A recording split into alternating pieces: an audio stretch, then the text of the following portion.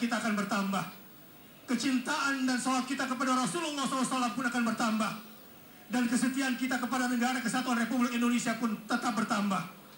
Takbir. Siap bersaudara sesama muslim?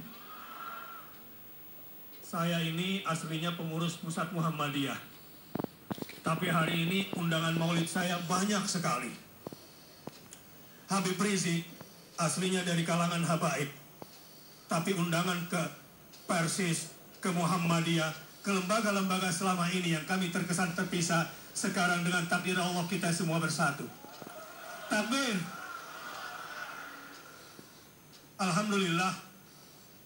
Saat ini Allah sudah berikan izzah dan kembalikan kemuliaan Islam kepada bangsa Indonesia. Takbir. Karena umat Islam sekarang sudah dipilihkan pemimpin dari kalangan mukminin. Dan mukmin sekarang sudah tahu dan memilih bagaimana cara memilih pemimpinnya. Karena mereka sadar bahwa kemuliaan adalah ketika kita bersama orang beriman dan ketika kita hanya bertauhid kepada Allah Subhanahu wa taala. Takbir. Dan alhamdulillah Allah juga sudah kembalikan kekuatan umat Islam di Indonesia saat ini karena Allah sekarang sudah satukan hati kita semua dengan persaudaraan Islam dan persatuan Indonesia. Takbir. Siap bersaudara, siap bersatu di bawah naungan tauhid, di bawah kalimat la ilaha illallah, di bawah Nabi Muhammad sallallahu alaihi wasallam. Sallu ala Nabi. Selanjutnya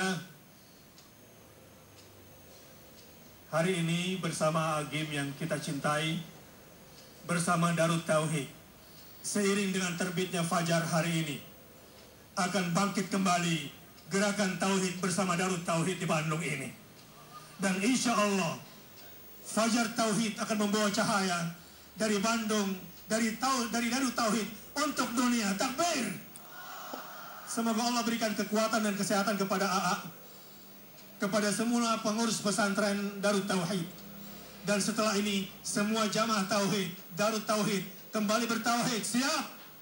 Kembali bergabung dengan Darut Tauhid. Siap mendukung kembali kekuatan Darut Tauhid Darut Tauhid sudah menjadi milik orang Bandung dan sudah menjadi milik orang Indonesia semuanya setuju karena itu kita doakan Agim dan Darut Tauhid mudah-mudahan setelah usianya ke 26 tahun ini menjadi agen perekat NKRI ini saja yang bisa saya sampaikan dan selamat kepada pesantren Darut Tauhid. Semoga Allah karuniakan keberkahan kepadanya dan kepada kita semua. Amin ya rabbal alamin.